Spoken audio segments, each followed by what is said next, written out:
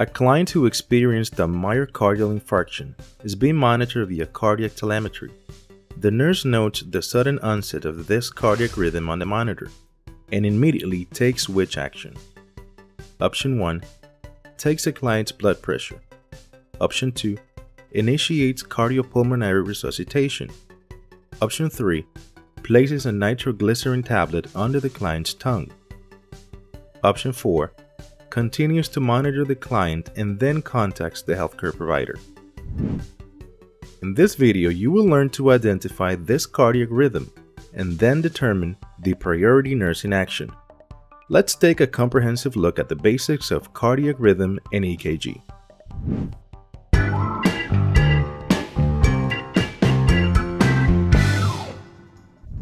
An electrocardiogram, also known as an EKG, is a test that measures the electrical activity of the heart.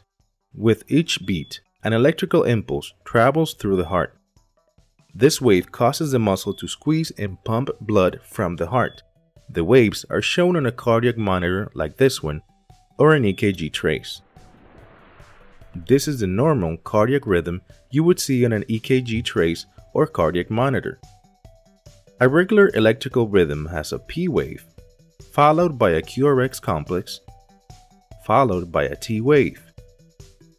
This shows the electrical activity of the heart to be organized, which means the heart is contracting and relaxing normally. In this case, we call it a sinus rhythm. A sinus rhythm requires organized electrical activity that initiates at the sinus node. In adults, Normal sinus rhythm usually accompanies a heart rate of 60 to 100 beats per minute. However, normal heart rate may vary from person to person. Normal sinus rhythm is defined as the rhythm of a healthy heart. It means the electrical impulse from the sinus node is being properly transmitted. The EKG in this question shows disordered electrical activity with no identifiable waves and irregular rhythm. This pattern is consistent with ventricular fibrillation, or VFib. This rhythm is often associated with a heart attack in which the heart muscle doesn't get enough blood supply, becomes irritated, and causes secondary irritation of the electrical system. The ventricles suddenly attempt to contract at rates of up to 500 beats per minute. This rhythm may be referred to as an irregularly irregular rhythm.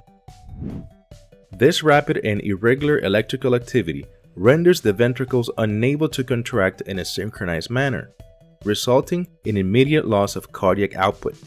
Since the heart does not beat, blood is not circulated to the body or brain, and all bodily functions stop.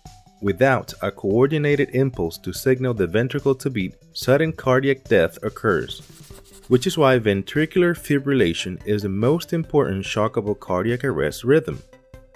Unless advanced life support is rapidly instituted, this rhythm is invariably fatal.